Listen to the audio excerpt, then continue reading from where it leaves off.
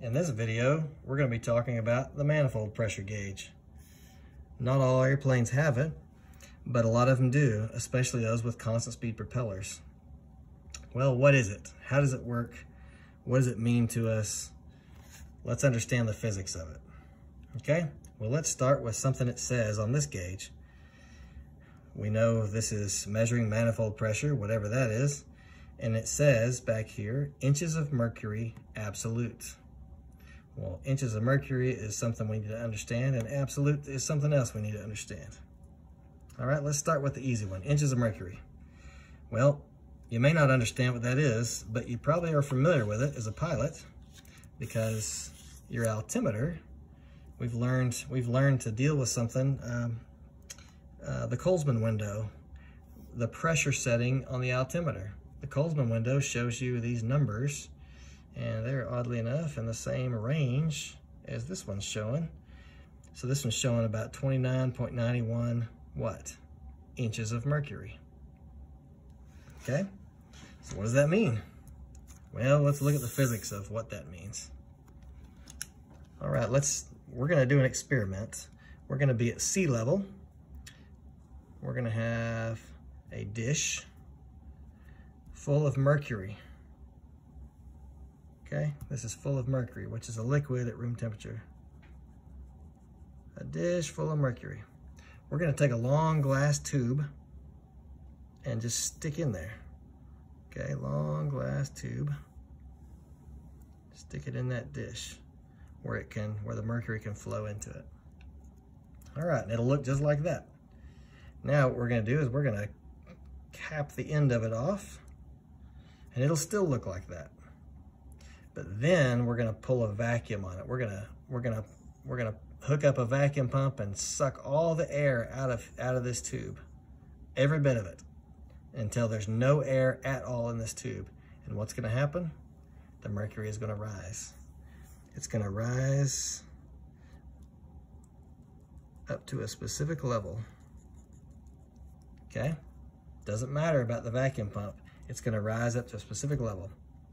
Now, as pilots, we walk over to our airplane because it's always going to be nearby. And we go to our altimeter. We call, we get on the radio and call the local AWOS and we get an altimeter setting of 2991, just like this, 29.91. Okay, so AWOS gave us a 29.91 inches of mercury inches HG.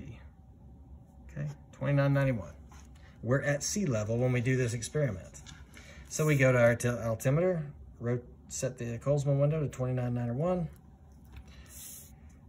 and we look over at our at our little gauge, our little uh, manometer here.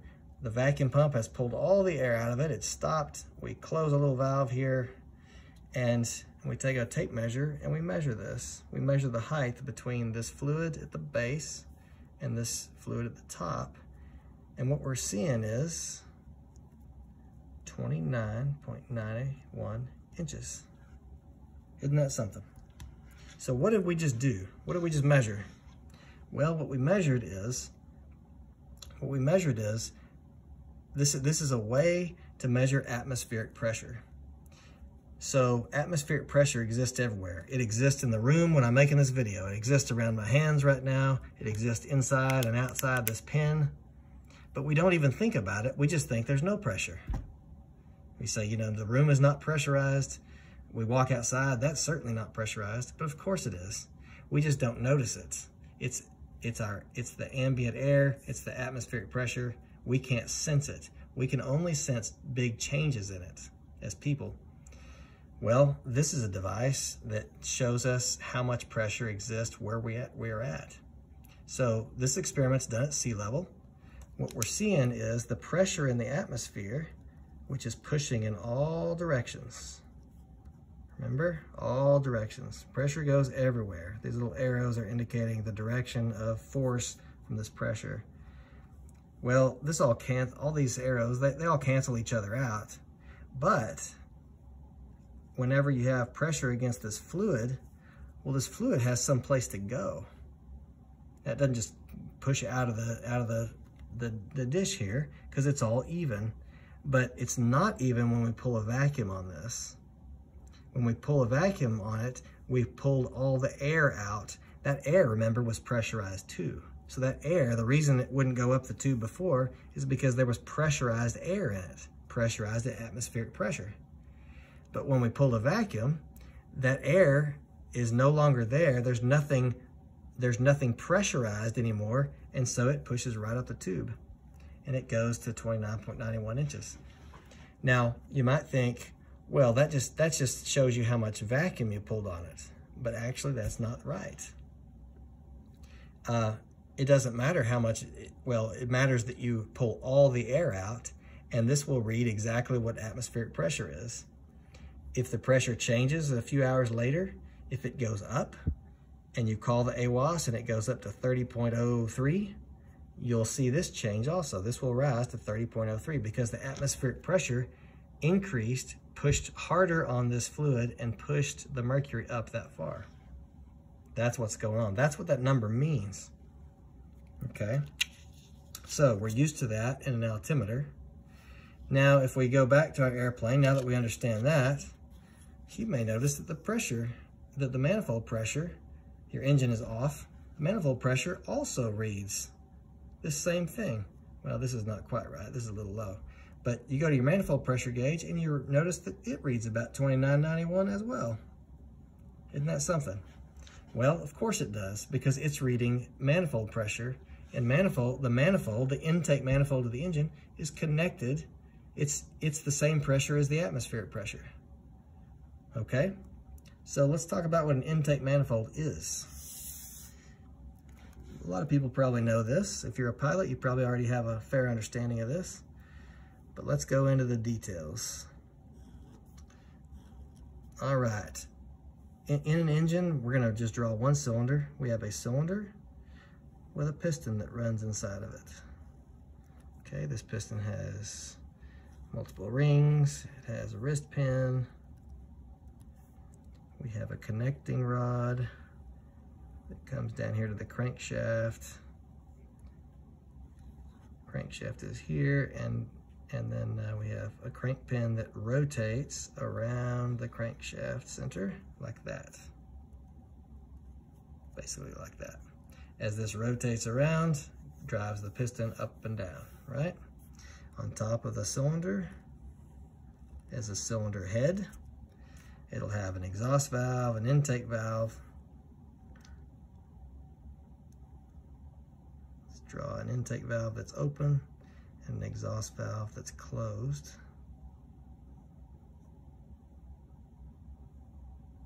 Okay, so exhaust would go this way to the exhaust pipes, intake goes this way. All right, so this intake valve is open that's where, that's where whenever the piston pulls down, it pulls air into the cylinder. The strokes of the engine are intake, piston goes down, compression stroke, it com the intake valve closes and seals it off, then it compresses all that air. Well, it's got fuel in it, right?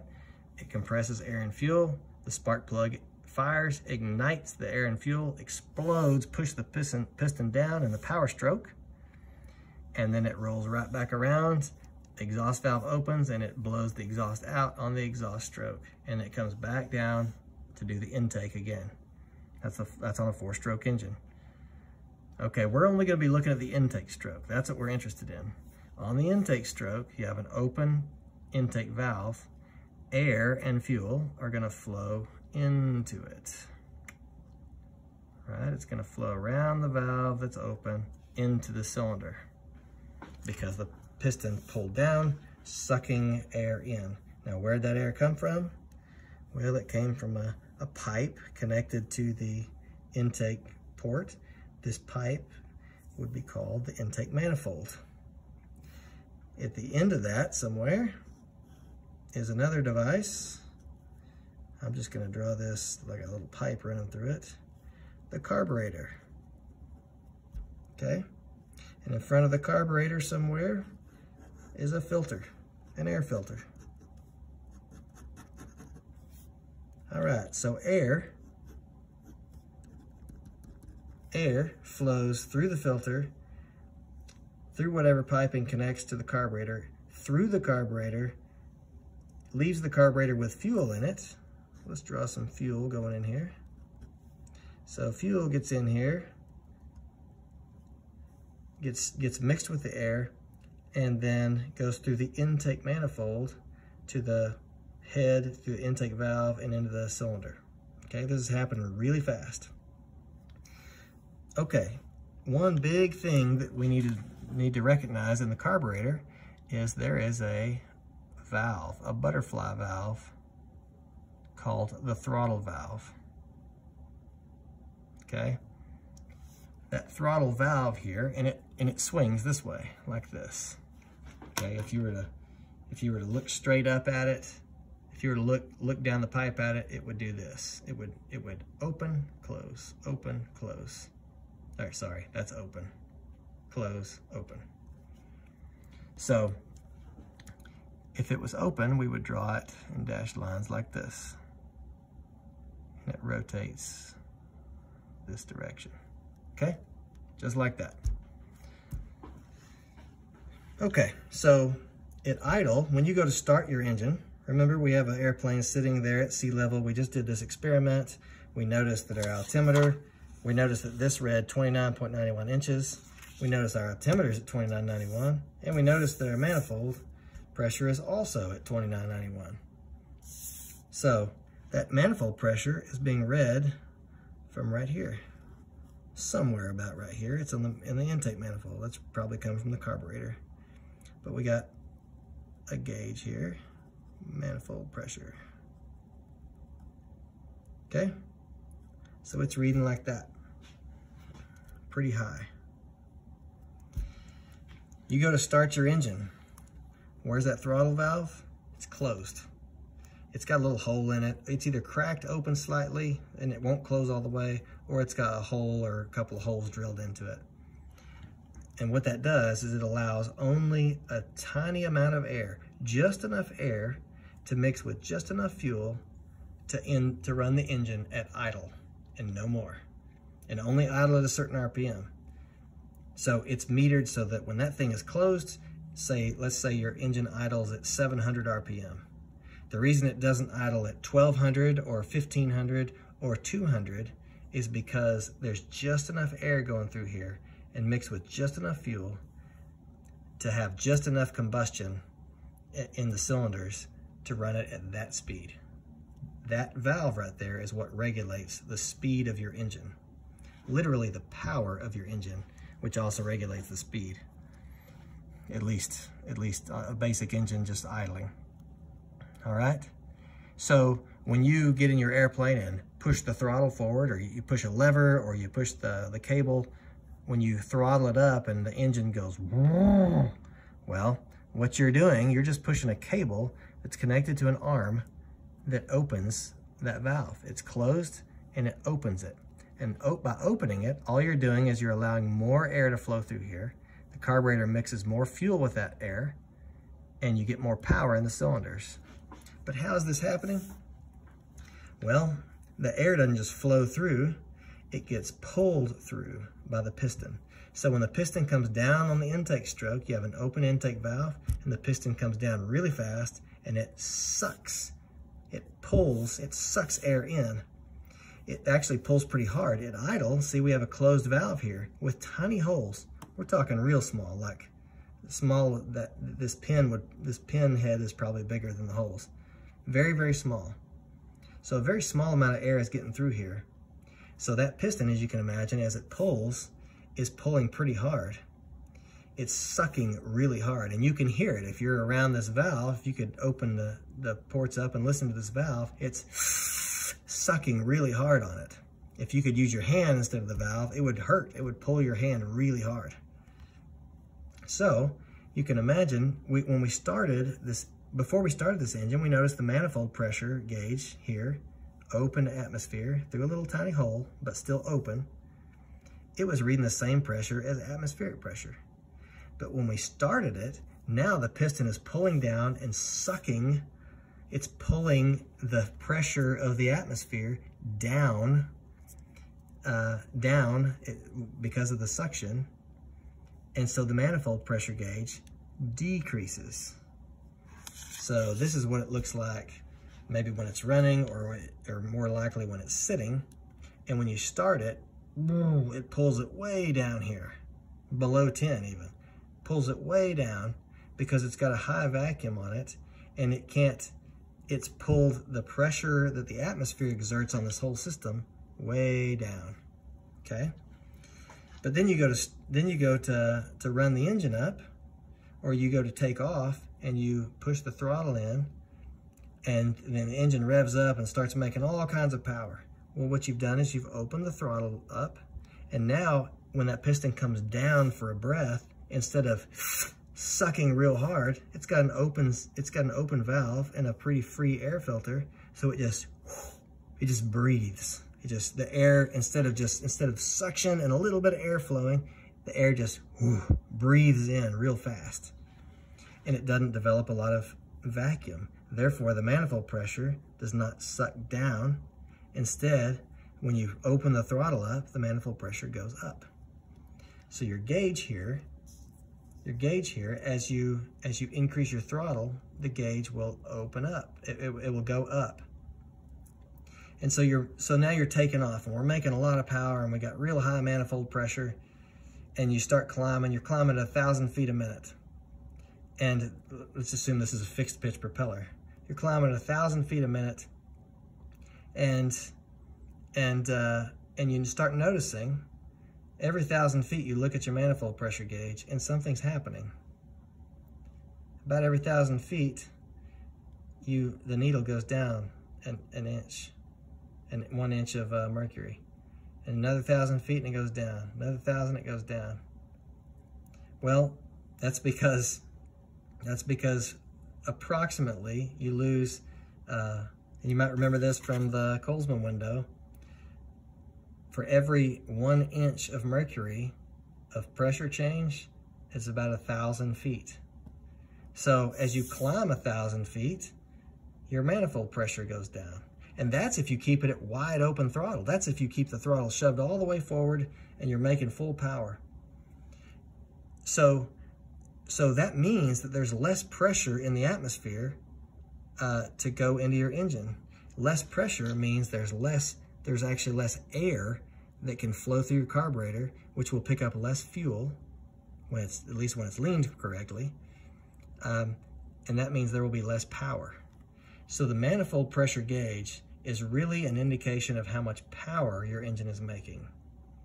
It's a direct indication of how much pressure is in the intake manifold.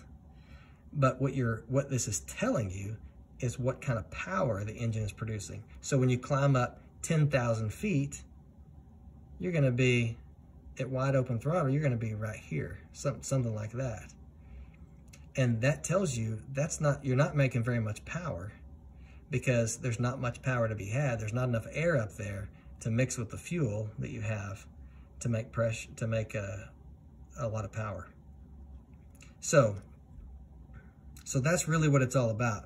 So when you're in a constant speed, now in a fixed pitch propeller, you're used to just running based on RPMs. And if you have, so you just you just use the throttle to control engine speed. But in a constant speed prop, you use the propeller lever to set engine speed. It sets the speed of the propeller, which drives the speed of the engine. And then you set your, but you set your power, your engine power with manifold pressure and that's what and that's how how that works. So when you set, let's say, uh, you know, a, a, somebody might say, well, I was, how fast were you flying? What power setting? And they say 25 squared, 25 squared, or anyway, 25 squared. What does that mean? That means I set my manifold pressure at 25 inches of mercury, and I set my engine speed at 2,500 RPM. So 25 inches of mercury and 2500 RPM. So this is with the prop. You set this with a prop lever and you set this with a throttle.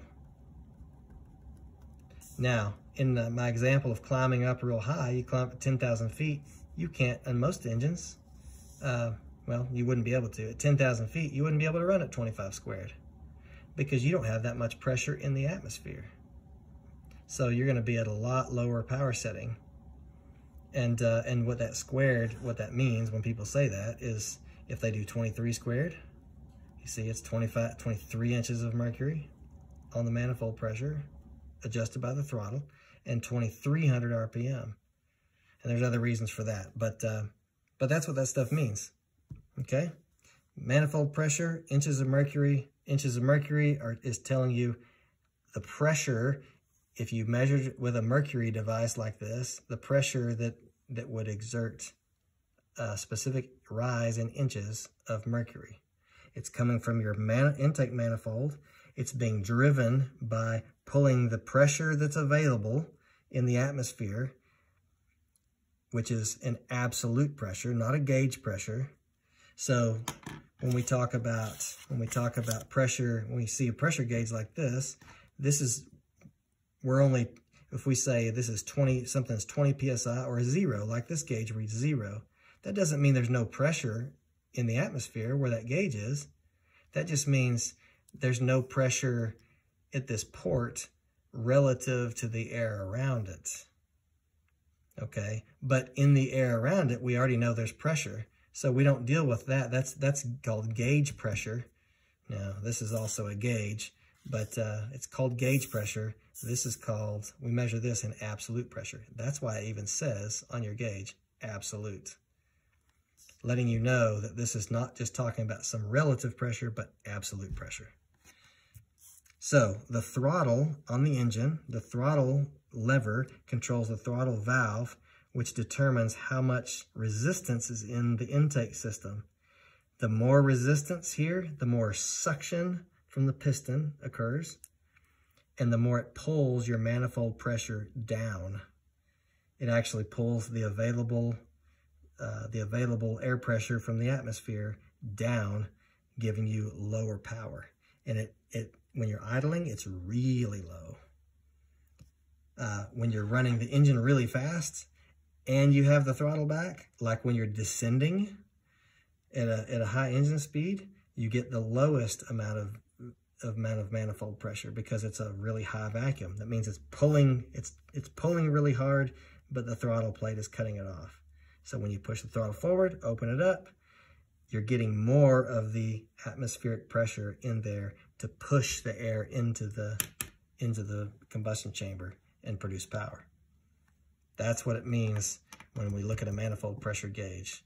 So again, real quick, on a constant speed propeller, you set your you set the speed of the engine with uh, with the prop lever. That's your speed. You set the power and you measure power by manifold pressure. And you do that with the throttle. That's all there is to it.